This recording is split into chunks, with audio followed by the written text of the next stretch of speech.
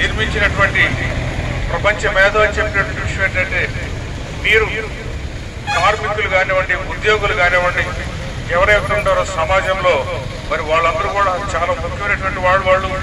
మరి వాళ్ళ బాధ్యత చాలా ఉంటుంది సమాజం మీద. మీరు ప్రభుత్వాలను ఎన్నుకునేటప్పుడు మీకు ఉపయోగపడేటువంటి విధంగా మీ సమస్యల్ని పరిష్కరించేటువంటి విధంగా ఉండేటువంటి ప్రభుత్వాలను మీరు ఎన్నుకోండి. అటువంటి పార్టీల మీద ఆదరించండి చెప్పడం జరిగింది.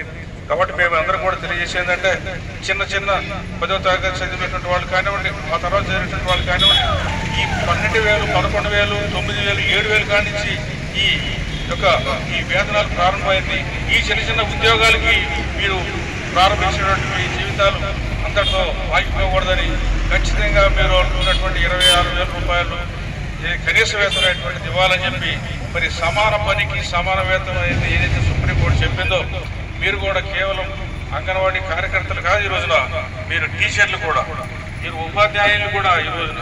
ఎందుకంటే పిల్లలకి ఈ రోజున పాఠాలు చెప్తున్నటువంటి వాడు పాఠాలు చెప్తున్నటువంటి వాళ్ళకి ఏ విధంగా అయితే టీచర్లకి ఎటువంటి బెనిఫిట్స్ అయితే ఇస్తున్నారో మరి అటువంటి బెనిఫిట్స్ మీకు కూడా ఇవ్వాలి కదా.